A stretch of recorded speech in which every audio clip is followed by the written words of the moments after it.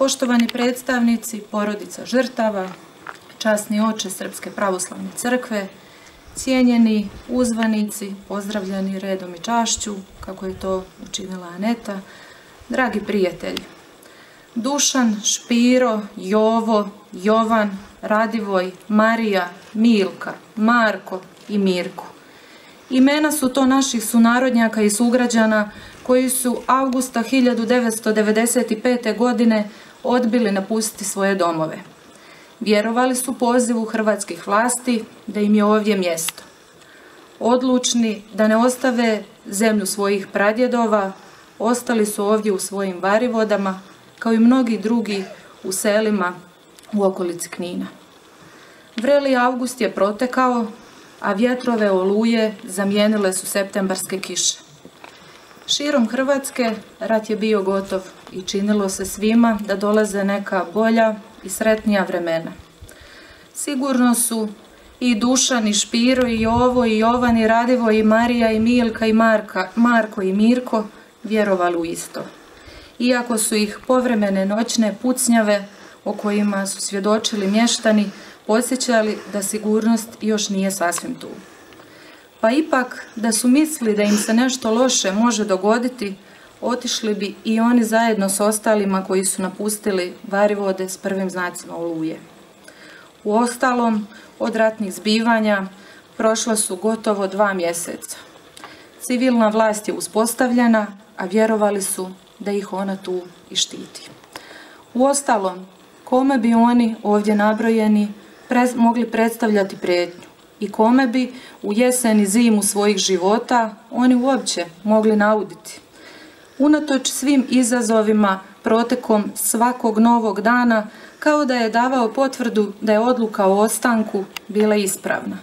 Za svaki slučaj na svojim su prozorima ostavili toliko ovdje puta spomenute bijele krpe, lancune, marame kao signal da nemaju oružja niti loših namjera i da apsolutno nikome ne žele ništa loše.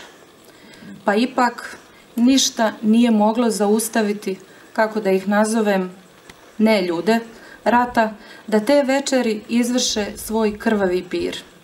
Počinitelji, za koje je tijekom istrage utvrđeno da pripadaju redovima Hrvatske vojske i policije, mučki su prošli kroz selo, te ih usmrtili na pragu svojih domova.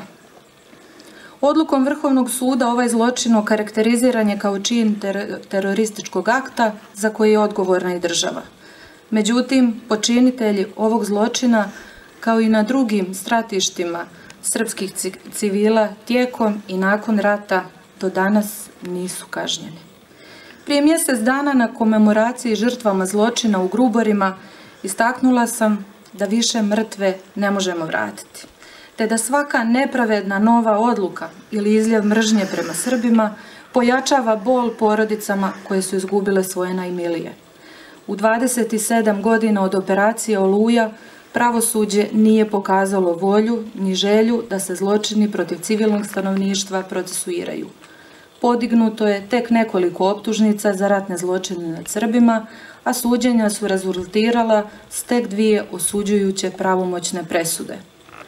Dame i gospodo, kao i tada i danas ovdje ističem da procesuiranjem ratnih zločina nije samo pitanje istine i pravde, te zadovoljštine porodice žrtava, već i svijest da ratni zločin ne zastarijeva, da su sve žrtve iste i da su svi ljudi ravnopravni.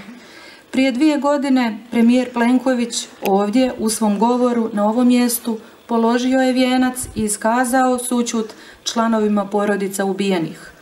Tada je poslao važnu poruku pomirbe nasuprot zaboravu onoga što se događalo u ratu. S jedne strane, poruka je iskazala tugu prema činjenici da Hrvatska država nije uspjela zaštiti svoje građane, dok je s druge strane Hrvatsko društvo trebala posjetiti da trebamo smoći snage i priznati da su u Oluji nažalost počinjeni zločini nad srpskim civilima koji se nisu smjeli dogoditi. Vrati u napuštena sela na naša ognjišta. Smrt nije pobjedila život.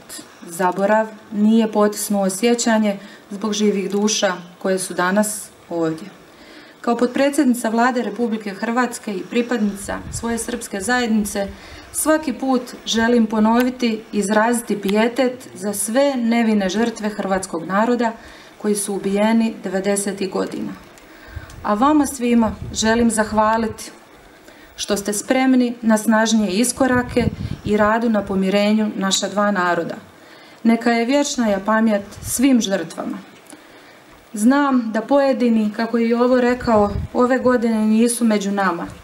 Nisu dočekali pravdu. Na nama ovdje jeste da se zamislimo nad tom činjenicom.